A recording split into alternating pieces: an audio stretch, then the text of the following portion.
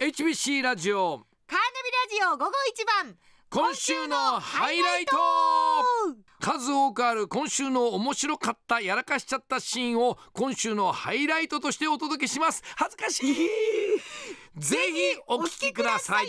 さあ、はい。今週も月火水木とありがとうございます。ありがとうございました、えー今週はただねあの僕があの自宅からのリモート出演だったのでそうですね。月火水と昨日まで家からやってましたから、まあ僕は別に何も問題を起こさずいや、ええありまくりでしたよね、それ自体がもうハイライトでしたけどね。あありまくりですか？そうですよ。そうじゃあ早速行ってみましょうか、まずは火曜日、うん11月12日の12時台ですね、はい。えー、安の大森ごちソングのコーナーで、えー、リクエスト曲「鉄友の愛しい人よ」がかかりました、そうですね。ななんでだろうなんでだろうの鉄友のマジ歌ですよね、それでまあ僕は自宅のギター部屋からのリモートだったので、はいまあすぐ近くにギターがあるわけですけれどもね。何があったんでしたっけ？聞いてみましょう。鉄友で愛しい人よでした。やっさん。どんな贈り物よりも この歌だ。いくつ涙こぼれてもできた 本当だ。サビだ。サビだ。すごい。そして。どんなうん贈り物よりもいくつ涙こぼれてもはい。愛しい。違うな。あれ？こっから先わかんないな。惜しい。惜しい。ちょっと。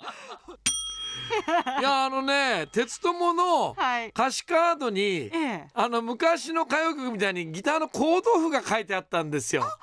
見ても。楽譜付きだったの。でああ楽譜書いてあると思って曲フルコーラスでかかってる時に、はい。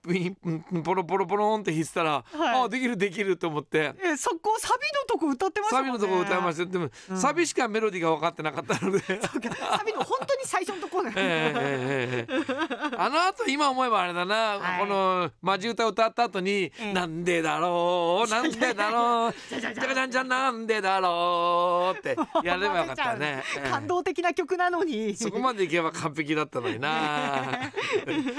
さあそして同じく、はい。えー火曜日11月22日の今度は1時台、えートレンドワードのコーナーなんですけれどもええ。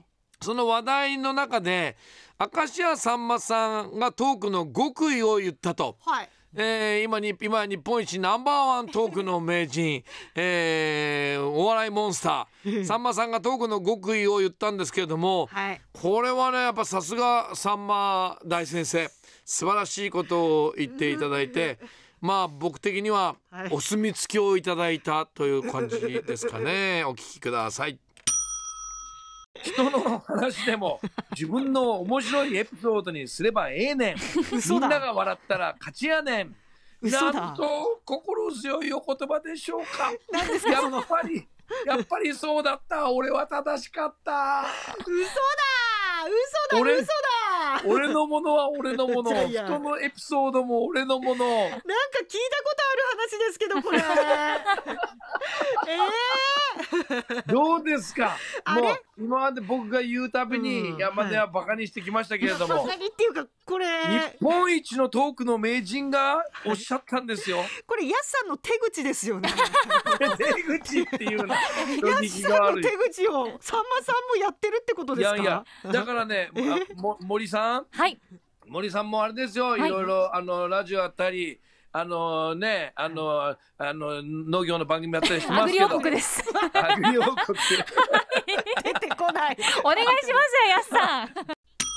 いやー参ったね、えあえ間違ったことは言ってないですよね。ー農業の番組うーんってちょっと考えて考えて農業の番組やったりって。いや。おいっつアグリ王国っていうはい。タイトルが出てこなくて、はい。えっと農業の番組って言ったら、はい。今日もねうん。今日もありましたね。森アナウンサーね、ええ。トレンドワードで登場して正式なタイトル言ってましたけども、え皆ーアグリ王国、うん。北海道、はい。その後は？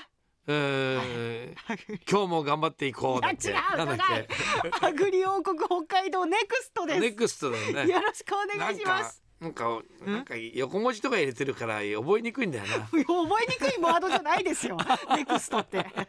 ええ。でもこの人のエピソードも自分のエピソードにすればええねんっていうの、ほらあの天下のさんまさんが言ったんですからそれまでは山根なんか僕のことを泥棒扱いですからね。いやエピソード泥棒ですもん。エピソード泥棒って、時によってはぬ盗んでばっかりじゃないんですよ。え時によっては500円払ったりしてるんですかいやら買収は嫌です。買取り買い取りですよ。下取りしてるんですよ。下取り？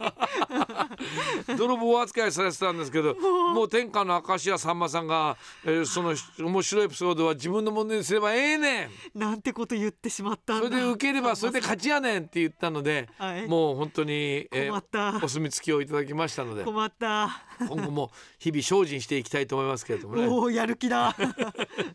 えー変わって同じく火曜日火曜日いっぱいあるね、えー火曜日のこの同じくトレンドワードのコーナーで、はいえーテレビの、えーえースッキリ日テレだっけ、あれは。そうですね日テレの『スッキリ』の加藤浩次さんがあ『スッキリ』が終わると3月で。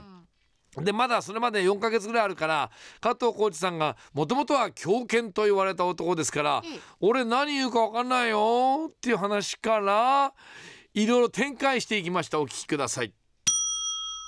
もう俺何言うか分かんないよっていうことで、まあ気になるじゃないですか。まあどんな爪痕を残して去っていくのだろうかっていう。まこれに関してはまあ僕もん？あのもともとはい何言うか分からないよですからね。え何ですか？ええそれテーマにしてたんですか？うん。ポコポコ。ああこっちないんでさそっちにないでしょう。ちょっと チン鳴らしてこられると強い困っちゃう。方がないでしょ鳴らしませんよ。俺俺何言うか分からないんだよ。いや何言うか加藤さんが何言うかわからないよってそういうくだらないことじゃないと思うんですよ、ね、もうちょっとねヒリヒリすることだと思うんですけどね。やられた森ちゃんにやられた。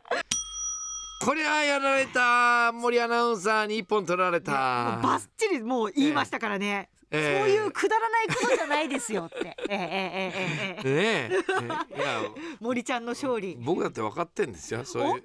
そういうくだらないことじゃないだろうなってのは分かってるあ分かってたんですか？くだらないと思いながらじゃあやってるんですか？自分の。えラジオを聞いてる皆さんが喜ぶかなと思って言ってるいやいやいやいやいやいや。皆さんのために。